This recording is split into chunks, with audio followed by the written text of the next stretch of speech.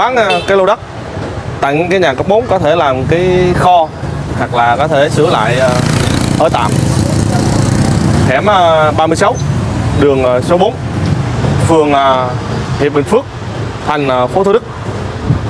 Khu vực thì nhà cao tầng, đồng bộ, dân trí cao. Hẻm thông. Đường trước lô đất. Nên nhà cấp 4 của mình hiện tại nó là đường 6m, 8m, 10m Ờ, hai ô tô có thể tránh nhau vô tư. Hẻm thông với lại ờ, khu dân cư sông Đà. Thông với lại ờ, đường số 4 đường số 2 đối diện với lại khu đô thị Vạn Phúc. Diện tích ờ, lô đất của mình nó là ngang 4m dài 18,6m gần 19m diện tích công nhận trong sổ đó là 72m hiện tại trên đất thì đang có một cái nhà kho chứa đồ có thể sửa lành cái nhà cấp 4 đã ở tạm hoặc là mua về có thể tiện xe mới cho quý khách hàng và các nhà đầu tư. Từ à, vị trí lô đất của mình. Này là ra mặt tiền đường số 2 đường số 4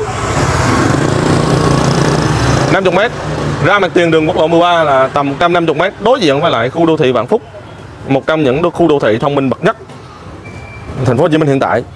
Ờ, phía bên này thì nó lại thông với lại ờ, khu dân cư sông Đà. Khu dân cư bình dân. Qua chợ Hiệp Bình chỉ là 250m rồi quay lại uh, ờ, chợ Bình Triệu cầu Bình Triệu Đại học Luật nhà thờ Phan Thiên Ba. Bến xe miền Đông đại lộ Phạm Văn Đồng. Trung tâm thương mại Gilmon từ 3 đến 5 phút di chuyển. Về sân bay từ 10 phút di chuyển. Thuận tiện đi đến tất cả những vị trí trọng điểm xung quanh.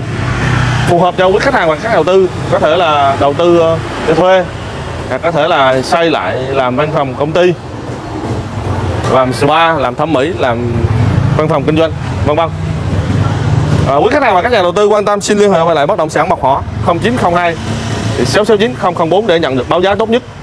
Quý khách hàng và các nhà đầu tư hãy đăng ký kênh bất động sản Mộc Họ Điêu để đón nhận cho mình thông tin của những sản phẩm mới một cách nhanh nhất để chọn cho mình cái kênh đầu tư cũng như là nơi an cư tốt nhất. Xin nhắc lại là bán cái lô đất tặng cái nhà kho có thể là nhà mốt hay nhà kho. Đường trước lô đất hiện tại của mình là đường 6m 8m 10m hai ô tô có thể tránh nhau vô tư hẻm thông diện tích lô đất của mình nó là ngang 4 dài 19 diện tích công nhận nó là 72 m2 xin chào và hẹn gặp lại trong những video clip sản phẩm tiếp theo ạ à.